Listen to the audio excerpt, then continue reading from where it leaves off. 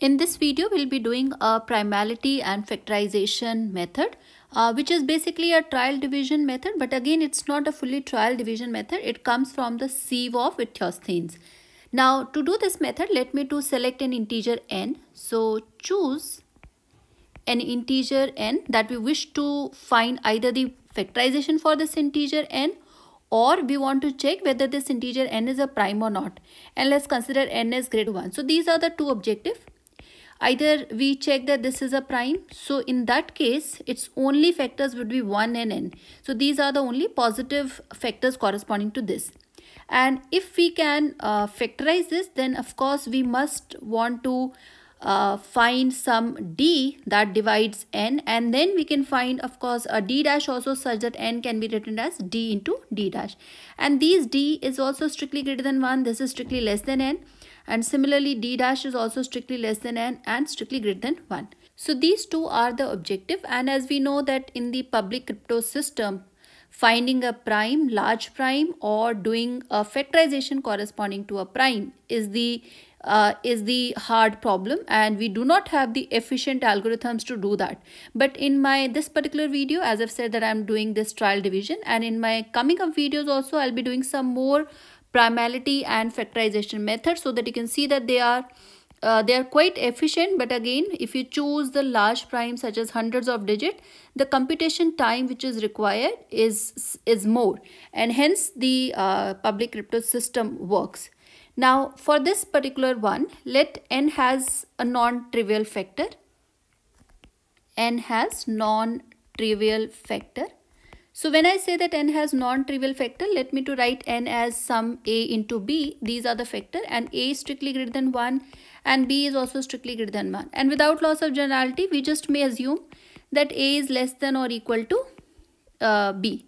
So this is we can assume and a and b are factors of, these are factors of n as a is less than or equal to b, multiply by a on both sides, we get a square is less than ab.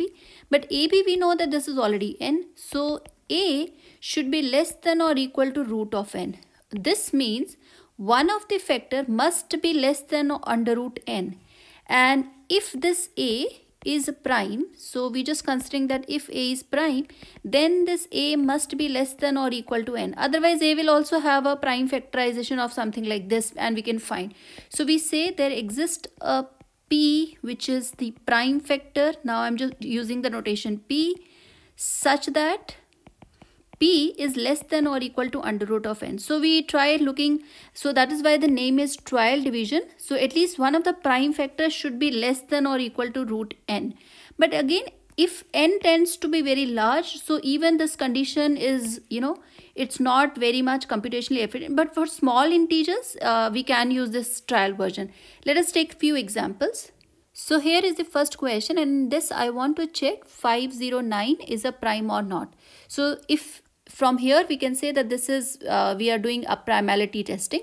Now we can see that 509 if I just take under root of this this lies between 22 and 23 so we can take the square of 22 and 23 and we find that under root of 509 is something 22 point something which means uh, we must try we must try dividing we must try dividing 509 uh, from the primes from the primes less than or equal to under root of 509 and which are we can see now these are 2 3 5 7 11 13 17 and 19 now these are the only primes which are less than or equal to 22 and this satisfy this condition.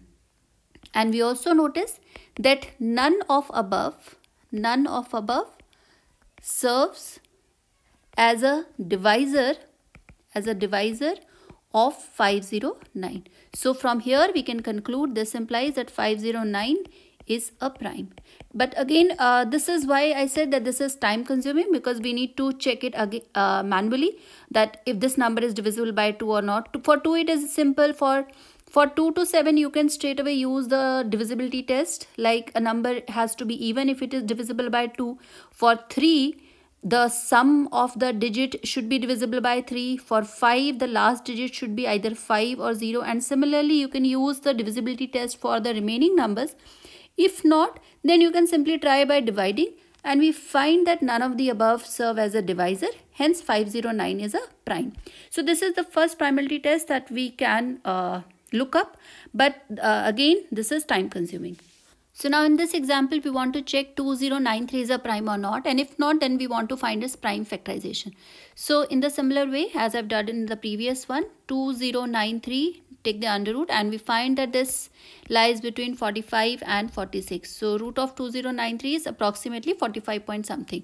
So we need to check the all the primes which are less than or equal to 45 and these are 2, 3, 5, 7, 11, 13, 17, 19, 23, 29, 31, 37, 41 and 43. So by trial, we just start dividing from the first few integers which are prime. But we see that 2 uh, is not dividing this number because this is odd 2093 is odd. Similarly you can check for 3 uh, 9 plus 3 that is 12 plus 2 14 so it is not divisible by 3 it is also not divisible by 5 because the last digit is 3 but it is divisible by 7 so we notice that by doing trial 2093 this is 7 into 299 so we already got one uh, factor. So certainly this is not prime. We can say that this is not prime. We got two factors which are strictly greater than 1 and strictly less than the number which is given to us. Now uh, again for 299 you can again try the same thing. Take the under root of 299 and we know that this is lying between 17 and 18. So for this integer what are the prime list for which I have to check?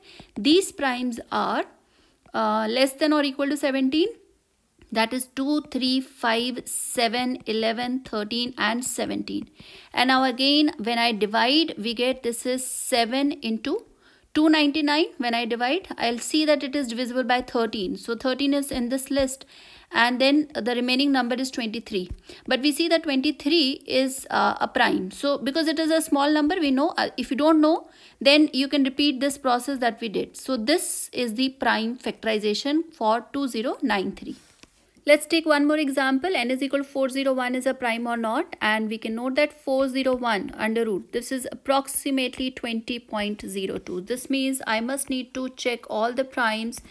Uh, so check all primes which are less than or equal to 20 and these are 2, 3, 5, 7, 11, 13, 17 and 19 and we notice that uh, none of above, none of above divide 401. So this means we can conclude that 401 is prime. So this way this trial method works for checking the primality as well as finding the factorization. And this is what is we get it from sieve of Eratosthenes that we start considering all multiples of the initial such as twice of p then we take thrice of p then we take four times p then we take five times p and so on keep on striking those element which comes like in the multiples of 2 3 4 5 6 and so on. So we left with the prime p which is less than or equal to n. The remaining number which are not appearing as a multiple of these numbers they are primes and those which appear as a multiple they are called as a composite number. Say for example just for few first 10 numbers 2 3 4 5 6 7 8 9 10 and suppose i just first consider this number 2 now 4 is a multiple of 2 6 is a multiple of 2 8 is a multiple of 2 10 is a multiple of 2 so 3 is not strike from the previous one. So this is the first uh, first prime is 2 and the next prime is 3 then we start considering the multiple of 3 and so you can see that 9 is striked off because it's 3 times p and we continue doing like this. I've explained the sieve of Eratosthenes in my other video. You can see that in the description. So this is how our trial method works. And before I move to my next video, just a few remarks. Trial division is good for searching small factors but often in cryptographic problems, we use the product of large prime and there we require n which is a product of two large prime. Generally these p and q primes, they are 100 digits long. Prime number theorem says that there is approximately 4 into 10 to the power 97 primes of 100 digit. So if we are doing it by trial that whether it is a prime or not and we are trying to uh, take a divisor uh, p such that it is less than or equal to root n and this is what we are trying to check whether this is a prime or not this n.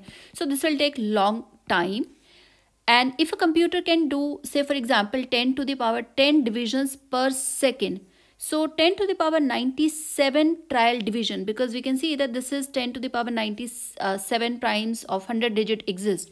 So 10 to the power 97 trials will take 10 to the power 87 seconds which is approximately 3 into 10 to the power 79 years. So that is why we consider that this RSA setup which is based off this type n is equal to the product of two large primes and this P and Q are not uh, informed. Rather n is given as a public uh, information. So we do not know what is p and q corresponding to this n. That means it also involves a factorization process. So that makes rsa system secure